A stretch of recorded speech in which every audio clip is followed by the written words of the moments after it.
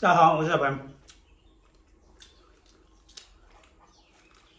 刚才喂完牛，然后吃个玉米些，不也饿了？这是黑色的糯玉米，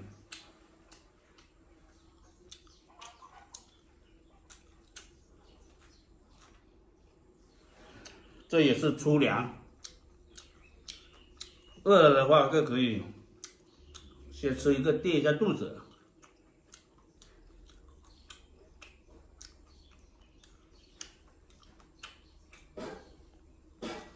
吃一个就没有那么饿了。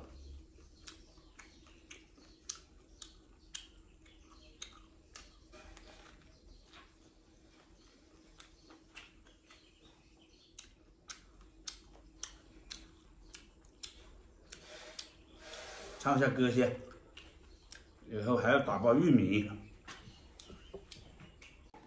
朋友们，还有朋友们收到这个玉米的时候啊，有些有一点不够饱满啊，所以我都叫那个小徐多放了，有些多放了一斤，有些多放了一点进去。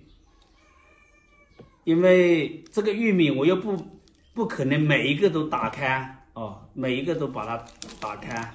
不，每一个都看饱不饱满，我又不不能够每一个都打开，所以我就多放了一点。如果是朋友们还是嫌弃有一点这个不饱满的话，或者是怎么样的，你们就不要拍啊，等下拍回去你们又身体不舒服，是不是？所以的话，有些是不不不够饱满的，差一点头子，但是这个头子也不是很重的，是不是？鸡，如果是你把它全部拔下来称的话，肯定就是。不知有没有一两二两，是不是也没有多少的，所以我就叫小徐放多了一斤这样子在里面。如果是朋友们收到还是觉得不好，或者是怎么样的，因为这个不是很重的，很轻的这个头子，是不是？如果是你们还是觉得不好的话，就不要拍啊，等下拍回去你们身里面不舒服，是不是？嗯，这下面还是有有有米的哦，下面还是有米的，嗯。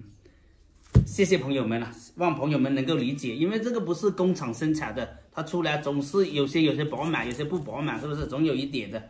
你叫每一个都很饱满的话，这个因为我们没有放别的，都是放点农家肥，它自己长的，长成什么样就怎么样，是不是？如果是要很好的话，我们也做不出，是不是？望朋友们多多理解，多多理解，非常谢谢你们的支持，非常谢谢你们。